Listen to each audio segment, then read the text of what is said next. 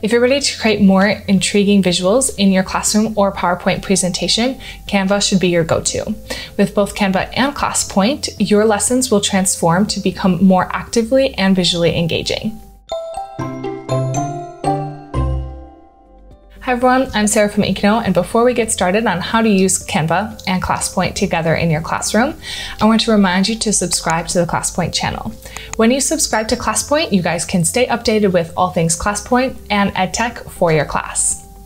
All right, so to get started, we're gonna go over a quick explanation on what ClassPoint and Canva even are, and then we'll go through a few examples on how you can use them both together in your class. All right, so first up we have ClassPoint. So ClassPoint is an interactive teaching add-in that allows you to more actively engage your students. So ClassPoint plugs right into PowerPoint and has a ribbon up at the top with five different interactive question types, along with pens and whiteboard backgrounds that you can customize and implement into your PowerPoint presentation. So this way you can actively engage those students without ever having to leave your PowerPoint presentation. So you don't have to switch back and forth between two different tools.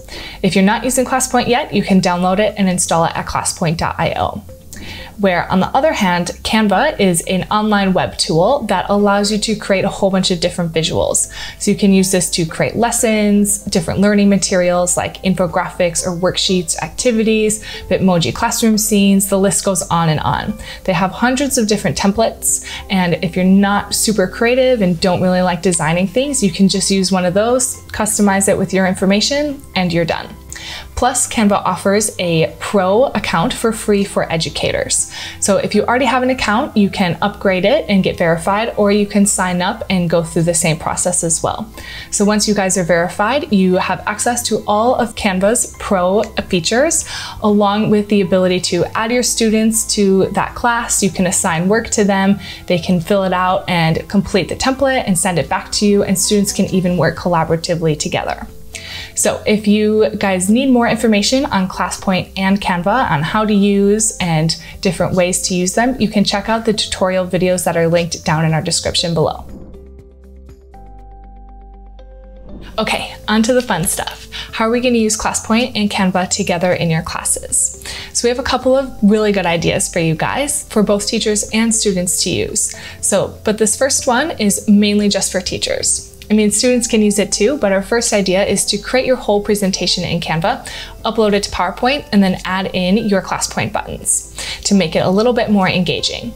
So there are a couple ways that you can go about doing this. First, you guys can just start with a blank presentation and take full advantage of Canva's templates and elements and image library in addition to adding in your own information or you guys can see what Canva has to offer in their pre-made templates. So you can utilize the search bar and search up something to start getting ideas and see how you want your presentation to look.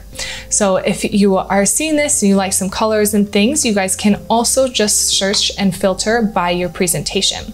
So once you see one that you like, you guys can click on it and begin editing. So everything on the template is editable and you can even change the colors on things as well. Once everything is the way that you want it to look, you guys can share it right into your PowerPoint file. So you just have to click on those three dots and click share and click Microsoft PowerPoint and download. Once it's been downloaded, you guys can open it up into PowerPoint and begin adding your class point buttons right on screen. And then your presentation is all ready to go. In addition, you guys can combine these two ideas, having a blank presentation and using Canva's library full of different activities and worksheets and things to use. So let's say we're teaching a math class and I want to add in a worksheet or an activity to do with my students. So we can see what Canva has to offer here. And let's search up an animal worksheet.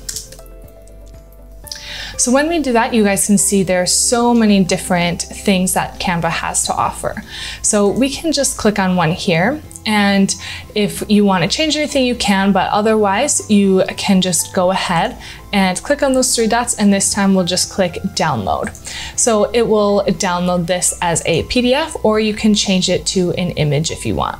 So we can download it as an image and I have already put these two worksheets into a PowerPoint file. and have added a slide drawing button. So this way I can start a presentation if I have other things before or after, and we can do this little activity. So students can just begin drawing and adding in the correct answers and I can easily look it over. In addition, you guys can use Canva to find a customizable whiteboard background that you can use with ClassPoint in your PowerPoint presentations. So let's say in Canva, there are some activities that you want to do pretty frequently. So you can always customize that slide to be a whiteboard background and use it throughout any of your PowerPoint files without adding it in specifically. So let's go back to Canva here and we can search up a whiteboard. So with this search, you guys will see a whole bunch of different activities and ideas. And this one about gratitude is something that I wanna do weekly with my students. So this is a really good example of using it for a whiteboard background with ClassPoint. So I can go ahead and download this. And then when I go back into PowerPoint, I can go to whiteboard backgrounds and I can change any of these six by using an image. So I can immediately set this here give it a name. And when that's complete and you guys go into your PowerPoint presentation mode, you'll see that that is appears when you click on the whiteboard background icon. Another way that you guys can use ClassPoint and Canva together in the classroom is design thinking with your students. So this is an activity that will help your students get to think a little bit more creatively than just in answering with words. So let's say, for example, we're doing an activity that I want students to create a shield or a crest that represents themselves and their values and their beliefs. So I want them to think about how they can represent those things visually instead of with just words. However, we can start with a brainstorming session with a class point activity that helps them begin thinking about some of their beliefs and values that they want on their shield. So this is with words, and then they can take those and go into Canva and see how that they can represent that visually. So once we have some answers and they get an idea like you see here, they can go into their Canva accounts and just create a poster and they can use all that Canva has to offer to create their shield. So they can use some elements, they can search up some things and paste it onto their slides.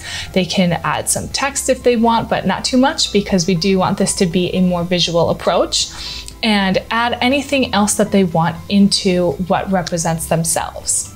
And if this is an activity for homework, you can have them turn it in later, or they can just right away download it and share it with an image upload question in your PowerPoint. So that way you can see everyone's shields and crests right away. The third way that you can use ClassPoint and Canva together in the classroom is for group projects with your students. So there are many other ways to continue using ClassPoint and Canva together, but we're just covering the first three here, and there are an additional few that's going to be linked in the PowerPoint file that you can find in the description below.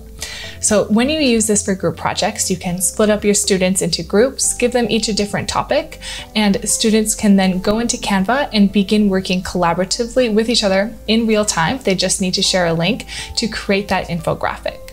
And then once it's all complete, they can share the next day in class if you want, or they can upload it with an image upload activity in ClassPoint and you guys can view in Lightbox View and they can share in more detail with the class why they put what they put on their infographic. So if we go back to our example PowerPoint file of technology transforming education, we can scroll down and we can see all of the different infographics that the students have created. So each one had a different topic on what part of technology has changed in education, and then they presented that to the class. So this is a really wonderful way to inspire students to begin thinking in a more visual and different way than they usually do. Like I said before, we do have lots of other examples, but you can find them in the slide template that's down in the description below. So don't forget to download that. And if you haven't already, please don't forget to hit subscribe and turn on those notifications so that you'll be updated when we release a new video. Thank you guys for watching this one, and I'll see you in the next.